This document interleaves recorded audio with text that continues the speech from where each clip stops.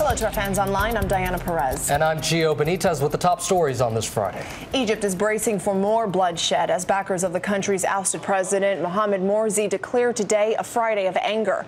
They're protesting the government's state of emergency and dusk to dawn curfew. Christians are pleading for help. Their churches looted and gutted by fire. The death toll has already topped 600 with thousands more injured.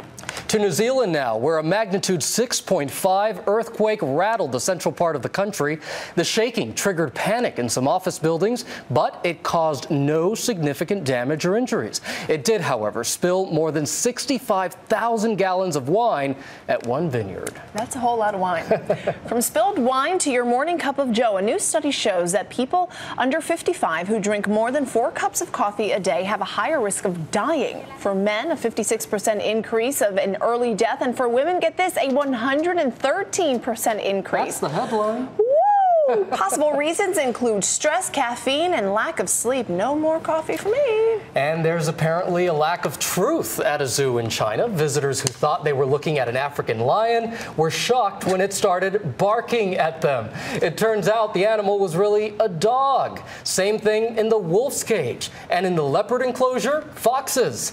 The zoo claims the substitute animals were just placed there temporarily, while the real ones were sent to a breeding facility. That is a teeny tiny lion, if you ask me.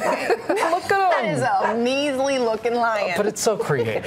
I know, it's creative, and actually it's adorable. I'd be upset, though, if I paid to see a lion and I saw a barking lion. Can you imagine? I would be really upset.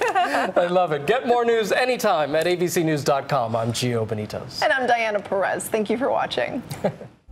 This is World News Now, available anytime, anywhere you want it.